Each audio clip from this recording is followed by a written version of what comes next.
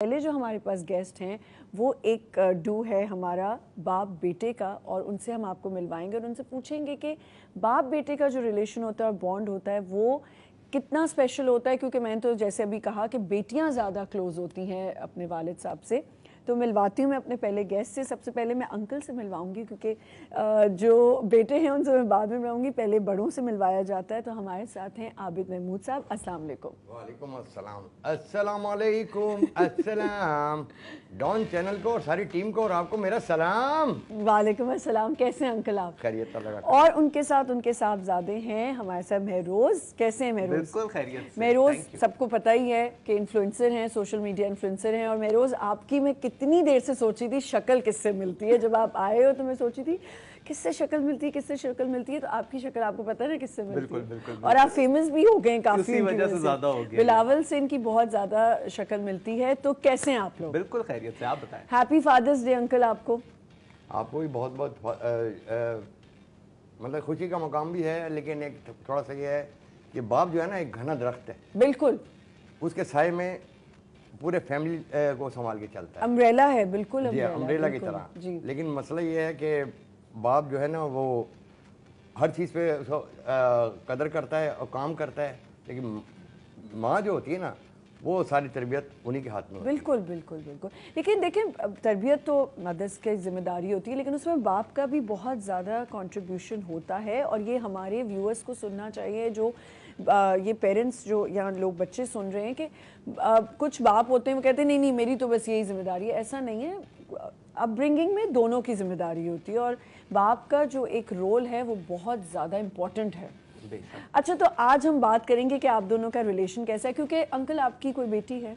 जी हाँ मेरी बेटी है। तो आपको क्या लगता है कि आप अपने बेटे से ज़्यादा क्लोज हैं या अपनी बेटी से ज़्यादा क्लोज हैं मैं दोनों से क्लोज हूँ लेकिन बेटी मुझसे ज़्यादा क्लोज है हम्म। ये मम्मा से क्लोज है हाँ वही बात जो है मैं हाँ, सही आप सही बात है लेकिन क्योंकि आज फादर्स डे है तो हमने ये रिलेशन जो है ये बॉन्ड जो है डिस्कस करना है मेरे उस वॉट डू यू थिंक के अम्मी के साथ ज़्यादा क्लोज हो या फादर के साथ हो लेकिन क्या चीज़ है जो फादर से ज़्यादा आपको क्लोज करती है आई थिंक पर्सनली मैं दोनों के साथ ही बहुत हम्म। अच्छा बहुत दोनों मेरे साथ इतने अच्छे दोस्त है कि मुझे हम्म। वो फील ही नहीं आता कि मैं घर में हूँ मैं घर में बोर नहीं होता जस्ट बिकॉज़ इन लोगों की प्रेजेंस से। हम्म। वरना मेरे इतने दोस्त है कहते यार हम घर पे बोर हो रहे लेट्स हैंग आउट मैं कहता हूँ नहीं I am happy at home मेरा घर अच्छा है क्योंकि मेरे माँ बाप मेरे दोस्तों की तरह है। एंड ज़िंदगी में टू बी वेरी ऑनेस्ट अलहमदिल्ला I am turning twenty six this year जितना भी कॉन्फिडेंस जितना भी एतमाद खुद पे हर चीज़ पे बाप की वजह से। बिल्कुल बिकॉज़ इन्होंने बचपन से इस तरह रखा कि मुझे किसी ऐसी ज़रूरत ही नहीं हुई कि मैं यार इसको दोस्त बनाऊँ मुझे किसी दोस्त की ज़रूरत ही नहीं पड़ी। He was always there to share everything he was supportive very confident always been a great journey with him हर एक एक छोटी छोटी चीज़ school college university you name it हर जगह ये मेरे साथ आजकल के दौर में यहाँ हमें पहले भी ये चीज़ें समझ शायद नहीं आती थी कि पेरेंट्स को अपने बच्चों के साथ बहुत क्लोज़ होना चाहिए ताकि जो हम बाहर जाके अपने फ्रेंड्स के साथ बातें शेयर करते हैं जो कि बिल्कुल गलत है वो हम अपने घर में करें और हमारे पेरेंट्स ही हमारे दोस्त होते हैं वही हमारे ज़्यादा क्लोज़ हैं और हमारे वेल विशेज़ हैं हमसे प्यार करते हैं वही हमें सही एडवाइस दे सकते हैं। अभी हम बड़ी मज़े की बातें कर रहे थे। अंकल आप बता रहे थे कि मेरोज जब छोटा था तो आप एक दफ़ा वो ज़रा प्लीज़ मुझे किस्सा जब प्राइमरी स्कूल में दाखिल किया हम्म। इसको मैं क्या क्या गया था अब बेटा जब छुट्टी हो तो बाहर नहीं निकलना यहीं खड़े रहना हाँ। स्कूल के अंदर ही गेट से बाहर नहीं आना इसने क्या किया कि मैं ज़रा लेट हो गया वो गेट बंद हो जाता है फिर बड़ा गेट खुल जाता है चौकीदार इसके पास आया हम्म। उसने कहा तुम्हारे डैडी आ जाएँगे सारे हम्म। बच्चे चले गए अकेला खड़ा था ये कह रहे उस गेट पे चलें। कहता नहीं मेरे डैडी क्या गए थे? यहीं खड़े रहो। धूप से साय में नहीं जाना है नहीं हिला। देखिए ये बात है ना बात मानने फिर जब मैं आया तो वो जो चौकीदार था उसने कहा कि भाई आपके बेटा को मैं लेके आ रहा था। हम्म। नहीं आ रहा इसको मैंने कहा तुम्हारे डैडी आएँगे वो यहीं से ले लेंगे। फिर इसको पता लगा फिर ये जब लेट कभी हो जाता था उसी के बाद जाके बैठ जाता हम्म। अच्छा मुझे बताएँ कल फादर्स डे था तो क्या कैसे सेलिब्रेट किया? हम लोगों ने जब फादर्स डे स्टार्ट हुआ रात को 12 बजते ही we ordered a cake for him ठीक है। और वो इनका फेवरेट फ्लेवर था तो वही कट किया मैंने बहन ने अम्मी ने फिर हाँ। इस तरह से हम लोगों ने सेलिब्रेट किया था अच्छा मुझे बताया अंकल कि एक होता है ना शुरू से एक जब आप बाप बनते हैं और आपको बड़ी जिम्मेदारियाँ आप लोगों पर लोगों पर आ जाती हैं वालिद साहब पे या वालदा पे तो तब एक माइंडसेट होता है कि जी बच्चे को इस चीज़ से रोकना है ये करना है। आपने क्या चीज़ माइंड में रखी कि इसने जैसे मुझे एक्सप्लेन किया कि बिल्कुल दोस्तों की तरह रिलेशनशिप है? तो कभी ऐसा नहीं होता था कि कहीं इस चीज़ की ज़्यादा लिबर्टी ना ले जाए?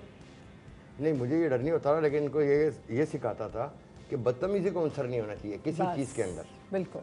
बेटा हर एक का एहतराम करना है हर एक से प्यार करना है लेकिन ये है कि आगे से अ, किसी को जवाब नहीं देना। से मतलब ऐसा भी होता है ना कि जब पेरेंट्स बहुत ज़्यादा लीनियंट होते हैं तो बच्चे कहते हैं कि जी एडवांटेज लेने लग जाते हैं। हाँ। तो कभी ऐसा हुआ कि मेरोज़ ने आपकी साहबजादी ने कोई एडवांटेज लिया हो कि जी हम तो इनको इतना प्यार करें या दोस्तों की तरह रह रहे हैं तो ये तो एडवांटेज ही लेते जा रहे हैं? नहीं नहीं एडवांटेज नहीं असल में तरबियत का होता है ना बच्चों का कच्चे जहन होते हैं उनके जहन में जो आप फ़ीड करेंगे वो उस पर अमल करेंगे। तो बच्चों को ये कहा है कि बच्चों बड़ों का एहतराम करना है और ज़ुबान दराजी नहीं करनी खास करके बेटी को। जी। क्योंकि अगर वो कहीं जाती है और ज़ुबान दराजी करती है तो फिर प्रॉब्लम्स आती हैं। अच्छा जरा मेमोरीज पे आते हैं। What's your favourite memory with him what's my favourite memory I am sure बहुत सी होंगी लेकिन कोई एक दो। एक दो। When he appreciated me over my dance for the very first time I think that was the moment कि जब मुझे किसी की सबसे ज़्यादा ज़रूरत थी एंड लिटरली जब मुझे एक्सपेक्ट था कि मेरे फादर होंगे और ही थे वहाँ पे। उन्होंने अप्रिशिएट किया। मुझे कोई फ़र्क नहीं पड़ता दुनिया क्या कहती लोग क्या कहते अच्छा बुरा। जब तक मेरे बाप की मेरे साथ सपोर्ट है बस सब सही है। कोई कोई फ़िक्र ही नहीं है। वो बिल्कुल, जब सबसे मज़े की बात ये होती है कि आपके पेरेंट्स की अगर आपको सपोर्ट हो लेकिन सही चीज़ में। हाँ ये अगर भी आप कोई गलत चीज़ करें मैंने देखा है पेरेंट्स गलत चीज़ को भी बहुत ज़्यादा गलत करते हैं और कहते हैं कि नहीं जी कोई बात नहीं कर रहे हैं बच्चे।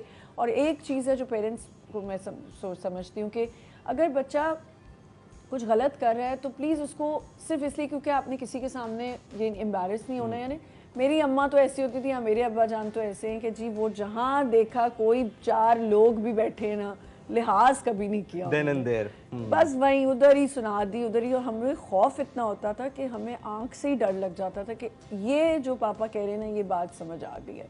तो अ, मुझे ये बताओ कि फ्रेंड्स में कभी ऐसा हुआ कि फ्रेंड्स को चूज़ करने में अगर अब्बा ने कभी एडवाइस दी हो कि ये मुझे ठीक नहीं लग रहा या ये तो सुनी कभी या नहीं? ऑलवेज जो मेरे क्लोज फ्रेंड्स हैं although I don't make a lot of friends to be very honest school life का मेरा. कोई दोस्त नहीं है लिटरली कॉलेज के भी दो थे उनसे भी ऑन एंड ऑफ़ मुलाकात होती है और जो मेरे वाकई में दोस्त होते हैं उनका घर पे आना जाना होता है। तो ये बिल्कुल एनालाइज कर लेते हैं ये बंदा कैसा है ये बंदा कैसा है। मुझे पर्सनली बताते हैं कि ये सही है ये सही नहीं है। तो मैं इनकी सुनता हूँ बिकॉज़ इतना साल का एक्सपीरियंस है इनके पास हज़ार लोगों से मिले इतने लोगों को फ़र्क है इनसे नहीं सीखूँगा तो किससे सीखूँगा? बहुत अच्छी बात की आपने। मुझे ये बताएँ कि क्योंकि ये सवाल तो वैसे अंकल के लिए बनता है लेकिन आप लोगों का रिलेशन देख के मैं दोनों से ही सवाल करी हूँ।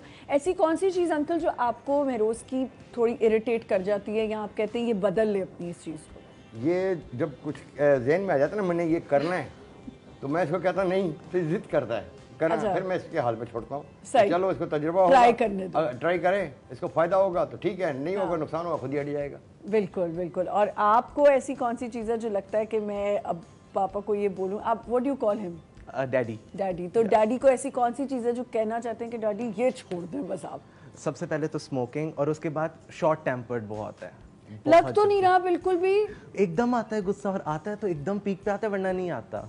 वो इसकी वजह से कहना जब भी मन मानता जिद करता है कि मैंने ये करना है। फिर मैं खामोशी अख्तियार अब मेरा हूँ। अंकल, मेरा भी पर्सपेक्टिव मेरा पर्सपेक्टिव ये है कि अगर मुझे एक चीज़ लेनी है फॉर एग्जांपल दो दिन बाद लेनी है अभी क्यों ना ले लूँ? दो दिन बाद भी तो लेनी है ना। उस पे कहते हैं कि तुम अटक जाते हो तो अटक जाते हो। ये वजह। अच्छा मुझे बताएँ मेरोज कि अभी तक तो हमने ये बातें की कि फादर्स को ऐसे मैंने जैसे आपने सुना मैंने शुरू में भी कहा कि फादर्स का हम सोचते हैं कि हम हम क्या हमारे लिए एक आइडियल फादर ये है कि जी वो हमारे लिए काम कर रहे हैं हमारे लिए सब कुछ करके दे रहे हैं। आपको क्या लगता है जैसे मैंने कहा कि एक फादर की इस, जो है सेंटिमेंट्स और उनके लिए कितना आपको केयर करनी चाहिए? बहुत ज़्यादा। कहते हैं कि माँ खुश है तो सब माँ बाप दोनों इक्वली खुश होने चाहिए दोनों इक्वली हेल्दी भी हों तब आपकी फैमिली सही चलती है। ऐसा नहीं है कि आप एक इंडिविजुअल पे ध्यान दे रहे हो दूसरे को आप इतनी इंपॉर्टेंस नहीं दे रहे। मुझे तो लगता है ये वो गाड़ी के दो पहिए हैं जिनके बगैर आपकी गाड़ी चल नहीं सकती। दोनों को खुश रखना ज़रूरी है। आजकल के बच्चों में और पहले के बच्चों में आप क्या देखते हैं कि अपब्रिंगिंग में क्या फ़र्क है और कैसी अपब्रिंगिंग होनी चाहिए? क्या वो दो तीन पॉइंट्स हैं जो आप बताना चाहेंगे सबको कि ये हों तो बच्चों की आप अपब्रिंगिंग अच्छे से कर सकते हैं? बच्चों को एक तो ये है कि इस्लामी तालीम के बारे में भी बताएँ। जी। क्योंकि बच्चे मोबाइल की वजह से इन बातों को दूर हो गए हैं। इसलिए लेकिन देखें मोबाइल की वजह से ही फ़ेमस हुआ है। वो हुआ है। फ़ेमस अपनी जगह। वो तो अल्लाह की ज़ात है इज़्ज़त देने वाली। तो कोशिश ये करे कि इंसान की तरबियत ऐसी हो कि दीन का भी पता हो। बिल्कुल बिल्कुल। अब ये नहीं कि सारा दुनिया भी चल रहे हैं। जी तो जी। जब तक आप जो भी काम करें आप दुरुस्ती पढ़ के करें। अल्लाह पाक से मदद मांगे और सारे रास्ते खुल जाएँगे। बेशक, ये चीज़ें हैं। अब जहाँ तक इसकी बात है ये स्कूल में बंक भी मारता था। ये बंक मारता था मैंने पूछा क्या करना है? सब दोस्त जा रहे हैं। मैंने कहा मैं छोड़ के आऊँगा। मैं इसको बंक में खुद छोड़ के आता था। अब बंक है या डेट है ये बताएँ। नहीं बंक बंक लड़के होते थे वो यूनिफॉर्म में होते थे ये बगैर यूनिफॉर्म के वो भी हँसते थे यार तुम्हारे फादर छोड़ लेकिन अगर कल कोई आपको कि मैं डेट पे जा रहा हूँ आप इसको छोड़ हाँ आएँगे कोई बात नहीं। क्या आप बताओगे अब्बा को? हाँ हाँ ये कहते हैं कि कोई हो तो मुझे बताना मैं छोड़ाऊँगा अच्छा ठीक है। और मेरोज आप मुझे बताओ कि क्या होना चाहिए बच्चों में कि उनको अपने फादर पेरेंट्स के साथ या स्पेशली फादर्स के साथ कैसा बॉन्ड होना चाहिए? उनके लिए क्या पॉइंट्स हैं? आई थिंक अगर आपके फादर आपको सर्टेन एज में बचपन में आपके टीन एज में कभी भी आपको एक चीज़ बता देना ये चीज़ सही है ये चीज़ गलत है उसको दिमाग में बिठा लो। सूनर और लेटर वो चीज़ आपके सामने खुल के आती है। तो मैं ये कहता हूँ कि अगर आप वो चीज़ नहीं कर रहे हो फॉलो अप जैसे अगर मेरे अब्बा ने मुझे बोला कि इधर खड़े रहो यहाँ से नहीं हिलना। अगर मैं वहाँ से हिलूँगा तो वो मेरे हिसाब से मैं चीट कर रहा हूँ अपने बाप को और चीटिंग अच्छी बात नहीं है। तो आप अपने माँ बाप के साथ सिंसेयर रहो लॉयल रहो उनको प्यार करो मोहब्बत करो और उनके साथ मुखलिस रहो। जो चीज़ है ना आईने की तरह साफ़ दैट्स इट बिल्कुल thank you so much and it was lovely to have you both और अल्लाह ताला आप लोगों का रिलेशन ऐसे ही रखे शादी हो जाए तब भी ऐसा ही रिलेशन रहे यही बॉन्ड रहे। Thank you so much uncle आपके आने का मैं बहुत बहुत शुक्रिया। हमें ब्रेक पे जाना है फॉरन इसलिए मैं मेरी वालदा का नाम भी आमना है। आमना है अच्छा ठीक है वो बताना चाह रहे हैं कि इनकी वालदा का uncle thank you so much आपने मुझे बताया।